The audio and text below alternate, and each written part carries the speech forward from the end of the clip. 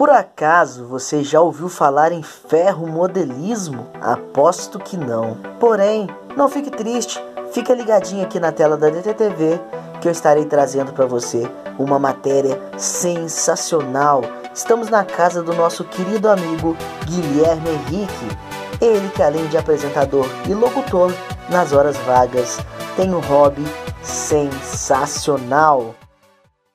DTTV Lavras comprometido, trazendo histórias, trazendo pessoas aqui da cidade de Lavras que fazem coisas legais, coisas diferentes. E hoje a gente está aqui com um colecionador. E como você pode ver aqui na imagem aqui embaixo, você já pode ver na mão dele, ele gosta de trens de ferro. A gente está aqui com o Guilherme Henrique, que é colecionador de réplicas de trem de ferro. Fala pra gente, Guilherme, de onde veio essa paixão aí por trens de ferro? Olha só, obrigado pela presença da, da DTTV, obrigado a você, obrigado por aceitar nosso convite. Seguinte, a paixão veio desde pequeno, por morar próximo à ferrovia. Né, sempre tive, tive o sonho de ter réplicas de locomotivas, mas na época eu não tinha trabalho, né, não tinha as condições financeiramente de comprar. Aí meu avô, ele prometeu para mim, quando eu aposentar, eu vou te dar uma réplica de locomotiva. Aí ele me deu essa locomotiva, né, que é a Maria Fumaça. Só que, como diz, eu não queria essa, eu queria uma réplica igual né, a original. Só que não tinha condições na época de me presentear com a réplica que está aqui, que vocês viram na imagem. Aí, antes disso, eu tinha visto uma maquete na cidade, aqui em Lavras, só que essa maquete era do padre. Né? Aí ele falou, aquela maquete que você viu é do padre, eu não posso comprar, o padre não vende. E passou por isso, só que não era. Ele não, teve, ele não chegou para mim e falou, Guilherme, não tenho condições de comprar para você. Fiquei com essa e falei, o dia que eu tiver condições, eu vou montar.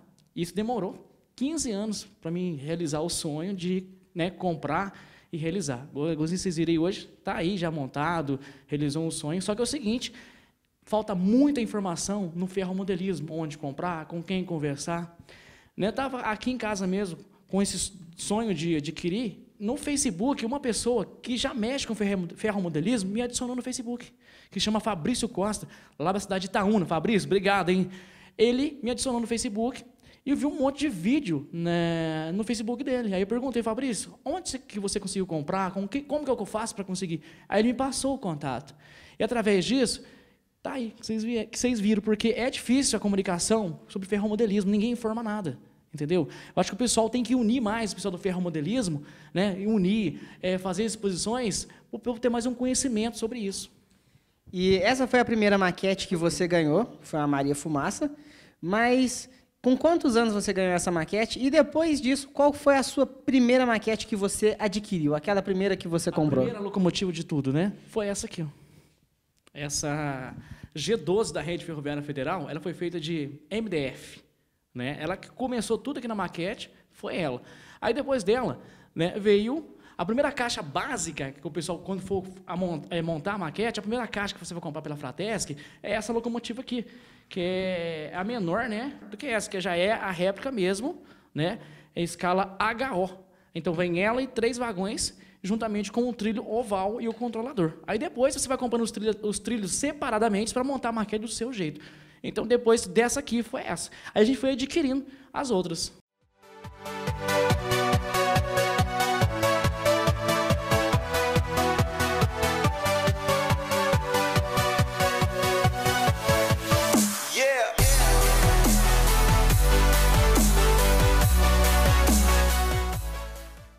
Bacana. Você falou a respeito do, do, de um pouquinho dos vagões, dos trilhos, mas essa cidade que você montou, cidade não, na verdade, essa maquete que você montou aqui, conta pra gente como que foi adquirir isso. Você construiu, teve, você já estava me contando aqui, teve algumas partes que você construiu. Agora, as casas, as maquetes, a estação, teve ajuda nesse processo? Tive assim, o meu amigo Tiago, da cidade de Perdões, ele também é apaixonado em ferromodelismo e ele realiza a fabricação de é, réplicas, como a estação aqui, como as oficinas da FCA que está ali, da VLI. Então, teve a colaboração dele também. Através de uma homenagem que eu recebi pela própria VLI, a gente fez mais amizade no meio é, de ferrovia, entendeu? Agora, a homenagem que eu recebi na ferrovia foi por evitar acidentes na malha ferroviária. É gostar mesmo, né? A gente estava num sítio e pegou um fogo numa moita de bambu, veio a cair nos trilhos. A locomotiva chegou, não deu tempo, o maquinista não deu tempo de parar, parou em cima da, da moita de bambu. E a moita de bambu estava pegando fogo. No momento, estava ajudando né, a apagar um fogo no pasto e fui lá e ajudei a apagar o fogo da mão de bambu para não pegar no trem. Aí foi esse reconhecimento da própria VLI e ela me presenteou também com uma réplica, que eu pouquinho vou mostrar para vocês a réplica que a própria VLI me presenteou também. Bacana. E nessa coleção já foram gastos mais ou menos quanto de dinheiro? Que o pessoal vê as réplicas, às vezes pensa que é coisa baratinha, pensa que é fácil de ter, mas não é bem assim. Fala para a galera mais ou menos em torno de quanto que você já gastou, quanto que é mais ou menos o preço de cada vagão. Cada vagão, o Ellison, é 50 reais cada vagão. Depende do vagão que você vai comprar. Tem vagão que já saiu de linha, aí é mais caro, porque não encontra no site da Fratesc mais. Às vezes a pessoa quer vender, mas vai pedir uns 100 reais cada um. Eu comprei, ah, nesses estão aqui 50 reais cada um. Entendeu? Locomotiva varia de preço. Essa, por exemplo, essa vermelha aqui, ela custa 200. Tem locomotiva que custa 600. E tem locomotiva com DCC, eu não tenho ainda, mas pretendo adquirir, é ela que faz o barulho original, a, a de verdade, buzina, acende farol, né, bate o sino, que custa até dois, dois mil reais. Né? Então, assim, varia de preço. Mas o que eu já gastei em tudo aqui, somando tudo, com mesa, né, com suporte para fazer, mais de cinco mil reais. É um gosto, né? Igualzinho, igualzinho é, o povo fala, cada louco com a sua mania. É verdade, cada um tem seu, seu gosto, não é verdade? Então, assim, tem que gastar. Porque você vai pensar assim, é, vamos comprar um, só uma caixa básica, vou comprar só para fazer um oval só aqui, pronto. Você não vai contentar com aquilo ali. Você vai ver outras maquetes, vai ver outro pessoal que faz exposições em São Paulo, você vai ficar louco. Você tem imagem lá que você vê, não acredito. E é tudo réplica. Vamos mostrar um pouquinho pro pessoal aqui de cada vagão? Essa primeira réplica que você está na mão aí, essa daí, qual é a história dessa réplica? Essa história foi de acordo com a ferrovia, né, que eu fui ajudar ao evitar o acidente. A VLI me chamou lá no, no escritório, no pátio, aqui em Lavras, e me presenteou com uma réplica que é essa aqui. Então eles me fizeram um, um, café lá, me parabenizaram na vista de todos os funcionários como agradecimento e me presenteou com uma réplica. Essa locomotiva chama AC44I. Então ela não tem a circulação dela em Lavras, aqui, aqui em Lavras não tem, só em Garça de Minas e também em Divinópolis, que no caso a ferrovia opera com ela lá. Essa. Essa máquina é adquirida em São Paulo, né, ela é uma G12 da, da FCA, que hoje a FCA trabalha juntamente com a VLI. Tem poucas locomotivas com o slogan aqui, aliás, com a logo FCA. Essa locomotiva vale mais ou menos 300 reais, porque ela já não existe mais. Ela já saiu de, de catálogo, você não encontra ela. Quem, no caso, se você encontrar, você vai pagar caro. Eu paguei 300, mas tem gente que pode pedir até 600 numa dessa aqui. Entendeu? E essa outra aqui também é da Vale, tá? que é a maior é a maior empresa de, de logística também, que tem o trem Vitória Minas, né? Essa aqui eu paguei 450 reais. No caso também, essa aqui foi a Fratesc que fabricou, né? Tem até o símbolo aqui da GE, mas não encontra mais também. Para você fazer a pintura dela, você vai gastar uns 130 reais só a pintura. Essa locomotiva vai custar uns 350 para frente, entendeu? De, acordo com, com o colecionador, no caso, se ele for vender. No, no, no, no site da Fratesc você não vai achar também. Essa locomotiva é ouvinte da FEPAS, que operava em São Paulo, é a Ferrovia Paulista. Hoje lá, quem comanda a malha ferroviária lá é a Rumo, né? Antes também era a LL. E a gente tem também aqui uma G12, né? Como a gente tinha falado da rede ferroviária, a gente tem a G12 da FEPAS também, que é relíquia, porque essas máquinas já não estão tá sendo fabricadas mais pela Fratesc. E também um vagão, que está até aqui com simulação de acidente, que é o vagão é, com, a, com a logo da FCA também é raridade porque não acha mais. Hoje os vagões só vêm com a logo da VLI, Rumo e também, é, mas da Rumo mesmo, da LL também já está ficando em extinção porque já não tem mais é, a fabricação com a logo da ferrovia, entendeu? Para quem quiser adquirir, vai ter que pedir alguém para pintar, comprar um vagão de outra, de outra, de outra, de outra é, operadora de ferrovia, né, e fazer a logo de acordo com o que, que, que deseja, entendeu? Bacana. E já que você tem esse amor por trens de ferro, você inclusive apresenta um programa que é o Trem de Minas. Da onde veio a ideia de criar o Trem de Minas? É para divulgar o amor que você tem pelo trem, mostrar mais para as pessoas, porque tem muitos jovens hoje em dia que não conhecem ainda o funcionamento de trem, tem muitos que nunca viram um trem. E qual foi o ponto que você falou assim, eu preciso fazer esse programa? É para divulgar ou é para estar tá mais próximo do seu amor pelos trens? Para estar tá mais próximo do amor pelo trem também, né? E para divulgar. Né? O meu sonho, além de ser radialista e apresentador, era também ser maquinista. Já, já tive o prazer de conduzir uma locomotiva em poucos metros, né? mas não tem aquela emoção ainda de pegar o, o trem no trecho e sair mesmo. Também é divulgar e estar mais próximo ao trem também. Né? E, claro, mostrar um pouco de maquete, mostrar o que acontece no dia a dia. E a gente começou com esse programa no, no Facebook e também no YouTube, eu achava que não ia dar em nada, gravado no celular mesmo.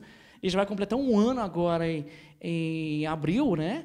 E tem uma repercussão muito boa. É, a gente faz matéria com o programa Trem de Minas em São Cristóvão. Eles também têm um projeto lá em Sergipe de restauração da linha férrea. E eles têm um projeto do bike troller, né, que eles trafegam mais de 10 quilômetros lá na linha restaurada, que eles mesmo limparam e conservaram. Então, assim, é um programa que começou na brincadeira e hoje já atingiu Minas e passou de Minas também. Já tive gente que assistiu o programa Trem de Minas lá em Amsterdã. Então, já fora aí do Brasil. Então, a gente fica muito feliz ter um reconhecimento com o programa e também né, com a réplica que a gente já tem, né? Então a gente fica muito feliz com isso. E se tiver alguém em casa que tiver afim de colecionar também, tiver dúvidas, é, tem dúvida de como montar, tem dúvida de onde comprar, tem algum grupo que ela pode encontrar, ou com você mesmo para obter ajuda? Existe algum site, existe algum canal que você recomendaria, além do Trem de Minas, que possa dar um suporte para essa galera que está iniciando? Sim, tem o site da Fratesc, que é www.fratesc.com.br, que são elas mesmas que fabricam.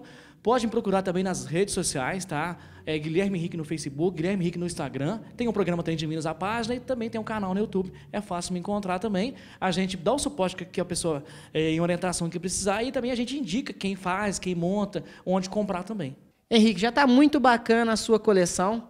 Mas eu tô com uma dúvida agora. Você pensa em parar por aqui? Ou você pretende aumentar a sua maquete, pretende aumentar o número de vagões, talvez criar uma nova maquete? Qual que é a sua meta para os próximos anos? A meta é aumentar. Só que no momento eu tô parado porque, como eu já falei para vocês, é bem caro, entendeu? A gente deu uma parada, mas a maquete, para você que está acompanhando a gente também, a maquete nunca tem fim. Cada dia você elabora alguma coisa e pode mudar ela. Entendeu? Você pode fazer um túnel, você pode fazer uma passagem em nível, pode fazer uma serra. Então a maquete ela não tem fim. Só deu uma parada aqui. Mas a, a, pretendo adquirir alguns vagões diferentes, algumas réplicas de casas, entendeu? Que tem próximo à ferrovia, é, pastos, animais. Então a gente, como digo, eu falei, maquete ela não tem fim. Só parei um pouco, mas pretendo continuar assim, é, mudando um pouco, adquirindo mais itens para maquete.